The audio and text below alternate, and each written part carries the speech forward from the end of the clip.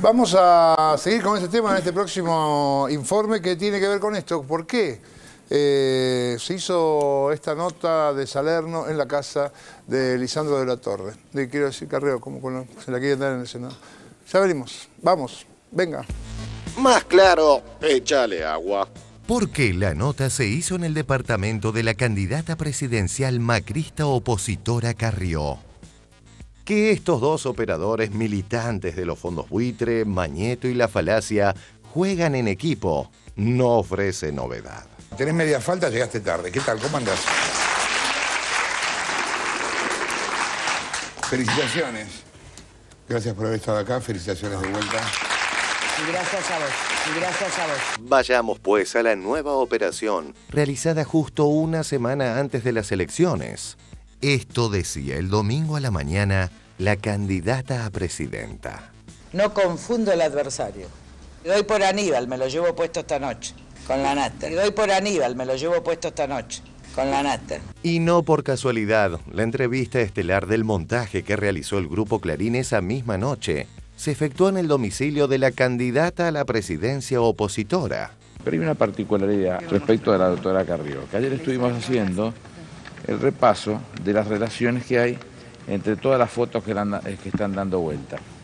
Se van a dar cuenta que las reuniones privadas de la doctora Carrió coinciden con el lugar de las reuniones que se hicieron. Son fotos en donde muestro que las reuniones con un eh, señor eh, ligado al narcotráfico y ligado a la mafia de los medicamentos, lo llevaron amistosamente al hogar de Carrió, está sentado como si fuese ya de Persia, este, dándole eh, las notas a los, a los este, periodistas y generando este dato eh, de un señor que ha sido echado por corrupto de la policía de la provincia de Buenos Aires. ¿Cuál es la función que cumple la doctora Carrió en la democracia de los argentinos? ¿Para quién trabaja? ¿Para la Embajada de los Estados Unidos? ¿Para la CIA? Opera para quién, en contra de los intereses de los argentinos. Todo lo que hace va en contra de los intereses de los argentinos. Agravia a su gobierno, agravia a la oposición, agravia a todos aquellos que han estado con ella. El empleado de las corporaciones, fondos buitre, etcétera, etcétera, envalentonado, se jactó de haber publicado esto justo una semana antes de las elecciones por casualidad, alegando que recibió el material en estos días. Pero su aliada Carrió lo desmiente al señalar que hace mucho venían armando la farsa. El periodista de Clarín, en la presentación del programa, dice que esto es completamente nuevo. Aníbal Fernández fue el autor ideológico del triple crimen. Es curioso toda la discusión que se armó respecto de esto es una operación política. Ustedes viven haciendo operaciones. A ver, esta gente decidió hablar ahora. Si yo hubiera pensado, no, no lo doy porque el domingo que viene son las pasos, eso era una operación política. ¿Sabes qué? Lo doy cuando lo tengo. Y Carrió dice que esto viene viejo. Esto es un mérito de Wiñaski y de Alegre, y no lo toque. Hace dos o tres semanas, Wiñaski y Alegre van a casa y lo llevan a ese señor Salerno. Entonces yo como autoridad federal, le digo, mire que yo soy autoridad federal, usted me está laborando, voy a hacer un acta. se graba la conversación en mi casa, ¿sale? Y eh, yo dejo constancia con escribano. Esto es mucho más viejo de lo que todo el mundo piensa, ¿eh? A ver, esta gente decidió hablar ahora. ¿Sabes qué? Lo doy cuando lo tengo. Esto es mucho más viejo de lo que todo el mundo piensa, ¿eh? Corona el cinismo. Este diálogo de ayer entre ambos. Bueno, no sé si tuviste oportunidad anoche de ver el programa o si, bueno... Sí, sí, lo vi, lo vi, lo vi. Sí, sí, lo vi, lo vi, lo vi. ¿Cómo no lo iba a ver si fue la candidata a la presidencia quien ayudó a Mañeto y a la Nata a producirlo? Al no tener argumentos para sostener la mentira, arman hoy lo del ataque a la lujosa casa de la Nata y en sintonía, por vez número 678, Carrió dice que la van a matar. Yo trabajo en mi casa porque si no me pueden matar en el Congreso. ¿Qué te podría pasar? ¿Que te metan un tiro? O que tenga un accidente. Yo trabajo en mi casa porque si no me pueden matar en el Congreso. ¿Qué te podría pasar? ¿Que te metan un tiro? O que tenga un accidente. Todo el mundo sabe quién es el asesino, así que no hay problema. ¿Quién es el asesino? Aníbal, si me pasa algo. Bueno. La verdad, a mí que me maten, pero a yo no voy a permitir que un militar eh, haga inteligencia interna. Que me querelle, pero Milani no me mate. Aníbal Fernández y Milani no me maten. Queréllenme, pero por favor Milani no me mate. Que no me mate. Le digo al señor Milani, no me mate. Eh, es fuerte, es fuerte, Carrió, lo que usted está diciendo. Cuando Y usted llamo dice a la eso, marcha ver, del Carrió, silencio. No me toque Milani, no me toque Aníbal Fernández. Porque son los dos capaces de matar, porque son los dos capaces de matar. ¿Y el primero de marzo van a ir? Yo no, se han convertido en actos fascistas y no institucionales. Ustedes saben cómo me gritan. Yo no quiero que me maten. Yo no quiero que me maten. Yo nunca hablé de la cámpora, si ustedes se dan cuenta jamás. Porque yo siempre dije, estos chicos hay que tenerle alguna paciencia, a ver si, si se reeducan democrática y republicanamente. Pero siempre me preguntaba algo, mienten, roban, pero no matan. Y esto me daba una cierta tranquilidad. Y a partir de diciembre eso cambió de noviembre. Dije, no, matan, Matan, claro, matan. claro. ¿Son capaces de matar? Bueno, la respuesta es sí, son capaces de matar. Sí, son capaces de matar. El problema es que acá nos encontramos que acá empieza el régimen a matar. Acá empieza el régimen a matar. Esto es así. Algo está tramando desde el punto de vista de la violencia Néstor Kirchner para diciembre. Es decir, hay armas, está claro. Entonces. en- ¿Armas en- hay? en- sí, sí, sí, sí.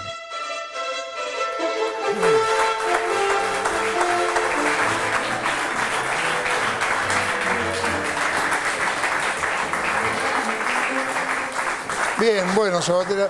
Yo pensaba que, mm, no sé a qué se dedica Carrió, seguramente a nada, a nada del todo legal, pero eh, es como una especie de, de- de- de- de huésped en la democracia, es una especie de, parasita las estructuras democráticas, Carrió. Vos ¿no? sabés que yo- Vive ahí.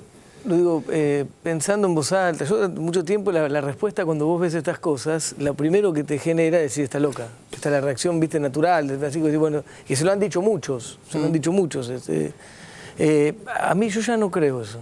Yo ya no, no, no, yo creo que yo creo que no lo hace porque le falta un jugador. Yo creo que yo creo que de verdad hay, hay que investigar seriamente eh, quién la manda, quién responde, qué organiza, qué intereses este, ella defiende, qué cosa oscura este, organiza.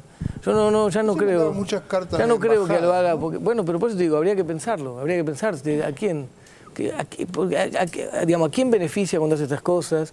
Eh, digo, porque organiza estos temas, dice que hace seis meses que lo viene planificando, lo lleva al living de su casa, eh, genera climas o intenta hacerlo. Eh, como también después, yo no sé, yo habría que sacar la cuenta, yo no quiero, pero muchos, muchos momentos durante el año, vos la vez que viaja, va, va, vuelve, los diputados ganan bien. En la Argentina es un buen sueldo los diputados, pero no creo que alcance para viajar todo el tiempo, para estar todos los días en Punta del Este, para dar vuelta por ahí. Yo creo que habría que averiguar bien. Sinceramente lo digo, no, no estoy generando, queriendo armar, lo, lo digo con sinceridad, es lo que pensábamos estos días. Porque la primera reacción siempre había sido lo contrario. Eh, mira, no se le puede creer nada, dice cualquier disparate. Ya no creo eso. No es delirio. No, no, yo creo que hay que responde a otra cosa, que responde eh, a otros intereses, que evidentemente les interesa a esos intereses, valga la redundancia, lesionar la democracia, lesionar los procesos democráticos en nuestros países, que generar climas este, que les puedan ser funcionales a esos intereses particulares para generar políticas determinadas. Yo creo que habría que dedicarle un tiempo más a ver eh, qué, a qué- qué- qué representa. Bueno, ¿Nola? Sí, eh, qué sé yo. Eh, sí, no, porque la verdad que es, uno a veces llega un momento que dice, ¿qué más van a decir? Eh, con respecto a Carrillo y al, a la- al- al ocultamiento de que la entrevista a Salerno se había realizado en la casa, me parece que eso tiene que ver con, por un lado, el descrédito de Carrió ante esa denuncia permanente que luego no se comprueba. Si vos tenés a Carrió detrás de una denuncia, por más que quieras creer en, eh, en contra del gobierno nacional o de cualquier funcionario involucrado en ese tema, te genera sospecha, porque ha dicho tantas barbaridades que digamos, uno tiene derecho a sospechar. Y me parece que de ahí nace ese ocultamiento que fue fácilmente comprobable. Y después el montaje de, la mentira del propio Lanata. Creo que las cosas, los crímenes se, descubren por los detalles, ¿no? Y en, esa, en esas mentiras muestra claramente la operación que estaba detrás de esta, supuesta noticia. Pero me parece que eh, con respecto al modus operandi de- del grupo Clarín, hay dos cosas que eh, hoy hablábamos con, con Hilda Agarré en la radio a raíz de la denuncia que en su momento la involucraron con las cuentas en el exterior, que ella demostró que no eran ciertas, ¿no? Pidió la información a los bancos, entonces dice que habló con el, el periodista que había hecho la nota y el esto le llevó más o menos tres semanas, que fue un trámite rápido porque ella estaba en los Estados Unidos como embajadora ante Naciones Unidas y eh, logró toda la documentación que demostraba la infundada de esa denuncia. Entonces el periodista que había hecho la denuncia le pidió la documentación a ella, Santoro. claro. Entonces, es decir, para supuestamente, para aclarar que no había sido del todo cierto lo que él había dicho. Es decir, que la involucrada tuvo que hacer el trabajo de investigación que no había hecho el periodista de investigación. Esto es inédito. La verdad que es como raro, como O sea, mecanismo. Santoro te hace una nota en tu contra, vos tenés que laburar para Santoro. Para Santoro, para demostrarle que vos, no era cierto lo que vos dijiste. La No, verdad que es como un salto cualitativo, ¿no? Sí. En lo que es la relación entre el periodismo y la fuente. Es raro, ¿no? Esto es el- la seriedad del periodismo profesional que tanto defienden de las páginas de la Nación, supuestamente. Y por otro lado, leyendo el libro de Martín Sivak sobre la era Manieto, este segundo tomo sobre la historia de Clarín, que está fundado en más de 150 entrevistas durante siete años, digamos que está lejos de ser un panfleto eh, pro cualquiera de los dos sectores, en pugna, cuenta una, la verdad, una historia que yo desconocía, que fue cómo se gestó el, movimiento Carapintada del 80, y- el levantamiento Carapintada del 87. Y da cuenta en este, en este libro, en base a los testimonios de protagonistas, protagonistas de la empresa y protagonistas de los Carapintadas, que eh, el Nabo Barreiro, que fue quien se acuarteló en su momento en Córdoba y dio motivo al levantamiento porque no quiso presentarse a declarar involucrado en causas por delitos de lesa humanidad, que hoy está condenado en Córdoba, se reunió en las oficinas del Grupo Clarín con directivos del Grupo Clarín para organizar el levantamiento Carapintada del 87 que luego Brady Obey pasó a tener la relación con el Grupo Clarín, otro de los Carapintadas, y el propio Brady Obey, esto está en el libro, no es que lo estoy diciendo yo de- Mejor, delirando, mejor no vos. delirando a- al estilo algunos protagonistas de la política argentina y del periodismo que eh, le dice Brady Obey al propio autor del libro, a Sivak, que él no descarta que el grupo Clarín hubiese participado en el financiamiento del levantamiento Carapintada. El grupo Clarín nunca sacó un editorial en contra del levantamiento Carapintada, nunca sacó un editorial a favor del juicio a las juntas militares. El único editorial que sacó el grupo Clarín sobre lo que sucedió durante el terrorismo de Estado en Argentina fue a favor de los indultos dictados por Carlos Menem. Entonces, cuando uno piensa de qué son capaces, me parece que esa, esta historia reciente, que puede parecer como traída de los pelos en este contexto, muestra realmente de qué son capaces. Dante.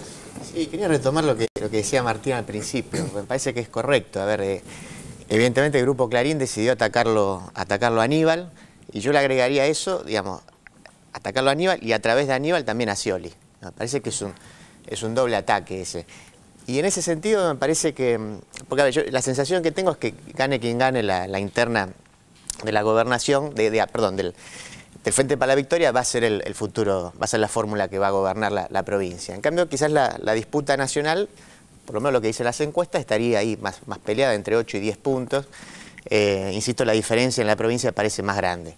Eh, pero digo, eh, hay una cuestión que uno no lo sé, yo no, hablo con Cristina, no la conozco, no sé, pero que se ha decidido, a diferencia de lo que sucedía a nivel nacional, avanzar en una interna. Y la interna tiene sus costos. Es más, uno podría pensar que seguramente si no hubo una interna a nivel nacional fue porque Cristina calculó esos costos y en parte en el programa lo hemos dicho, digamos que, por lo menos si quiere me hago cargo yo, que, eh, que la estrategia de Randazo resultaba demasiado agresiva y que probablemente a la larga iba finalmente a hacerle mal a los dos, tanto a Randazo como al propio Scioli. Entonces digo, hay como un nivel de responsabilidad extra, me parece, entre los contrincantes de la, interna, que es justamente también no, dañar, primero, no dañarse a sí mismos y a su vez no dañar también al candidato, al candidato Scioli. Eh, me parece que, a ver, uno, puede, no sé, uno le puede solamente achacar a la, a la lista de, de Julián y, y de Espinosa, bueno, que bueno, finalmente representa un peronismo clásico, hasta incluso un peronismo pre-kirchnerista, que tiene vinculación con lo que se conoce como los varones bonaerenses. Es una crítica posible ¿sí? Eh, dentro del marco de la, interna. Seguramente del otro lado le van a criticar cosas a Martín. O sea, le pueden criticar a Martín que le van a decir, en el 2009 Martín fue con una lista paralela a la de Kirchner, entonces no es kirchnerista. Y Martín responderá y la otra lista también responderá. Ahora, el, problema es cuando me parece que tanto desde las propias listas como desde los comunicadores, entramos también en rencillas que son, que son personales o en acusaciones. Digo, creo que más allá de la interna y de Aníbal, Julián o de Martínez, Espinosa, hay una responsabilidad institucional en el sentido de decir, uno es el presidente de la Cámara de Diputados kirchnerista y el otro es el jefe, es el jefe de gabinete. ¿Sí? Las acusaciones entre ellos también, digamos, tienen, tienen, que, tienen que medirse por eso, por, por la afectación, insisto, más allá de los nombres. Una, una cosa, son dos cosas distintas, ¿no? Digamos, acá estamos hablando de una operación de Clarín contra, contra Aníbal, eh, un ataque obviamente del grupo que se dedica a atacar el proyecto nacional, atacar a la presidenta, atacar a nuestro gobierno, contra Aníbal, que es un, una cuestión obviamente que viene de ahí, después podés discutir algunos temas que vinculados a la, a la cuestión de la fórmula. En relación al debate, a la interna, al debate interno, a la, discusión de las PASO, la verdad que hasta el domingo nosotros decidimos con Aníbal, justamente por lo que vos decís y yo coincido, no participar de ninguna discusión de la que nos proponían la otra fórmula.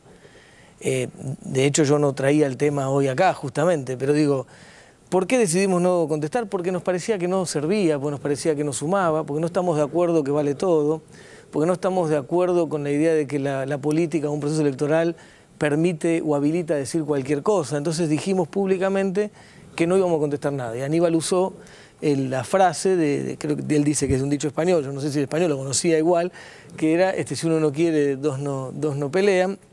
Este, entonces no contestamos nada. Y se han dicho un montón de cosas que a mí me parecieron malas, me parece que no sirven, me parece que no, no es bueno, eh, pero no contestamos absolutamente nada. Lo único que nosotros planteamos, que planteó Aníbal el primer día en relación al proceso electoral, es que había dirigentes que hablaban de esconder boletas y nosotros aclaramos de que no teníamos ninguna duda que no había ningún intendente que haga semejante cosa. Por lo tanto, que lo único que cumplíamos era en avisar que esto estaban planteándolo, pero que no teníamos duda de que nadie tenga la posición que tenga el proceso electoral iba a participar de semejante cosa. Punto. Y no dijimos más nada. Por eso digo, yo no, no entiendo la, la, la, la, discusión de este, este tema vinculado al ataque de, de Clarín, con respecto al debate en, entre, no, entre no, nosotros. No, digo, está claro, digo, acuerdo con vos que son dos temas distintos. Yo lo que, lo que traía, digo, me parece, como decías vos, digo, que el ataque está claramente dirigido a, a la, a la, que... a la fórmula. Pero eso, pero no, digo, más allá de eso, y sí, fui más allá de ese, de ese ataque, y digo, para llamar la atención, y esto como una reflexión, por supuesto, digo, podemos no acordar en eso, pero como una reflexión hacia las dos fórmulas. Yo no estoy diciendo que una atacó, que la otra no atacó, que una defendió más que... Y, pero también incluso a, lo, a los comunicadores, a los que formamos parte también y que tenemos, digamos, el corazoncito puesto en un lugar, decir, bueno, ser, ser más responsables también, porque insisto, más allá de Aníbal Julián, eh, Aníbal y Julián ocupan un, un, rango, digamos, un lugar institucional de, de peso, sí, digamos, más allá de eso de la, de la disputa, de la sí, interna. Sí, a mí me parece que la, los procesos internos este, hay que poder hacerlos y se puede hacer bien. El proceso, el proceso interno de la capital tuvo cero conflicto entre nosotros. Podés discutir si la mejor estrategia, si era bueno que haya siete candidatos, cinco candidatos, tres, que nosotros creíamos que tenían que ser menos candidatos. Ahora hay un problema de estrategia, de cosas. Ahora, no, nadie se dijo barbaridades uh -huh. entre los candidatos. Entonces, yo no creo que porque haya un proceso electoral, haya unas pasos, eso implique que, tengas que, eh, que, que, tenga que haber un tono que, que, no, que no hace falta. Yo creo que en, este proceso electoral sí hubo algunas intervenciones que nosotros creemos que no, no, son buenas. Vos podés discutir lo que quieras. Nosotros tenemos una opinión sobre nuestra fórmula. Nosotros creemos que nuestra fórmula expresa el espíritu frentista del Frente para la Victoria. Creemos que nuestra fórmula expresa la unidad en la diversidad, como la expresa la fórmula de Daniel Scioli y Carlos Zanini.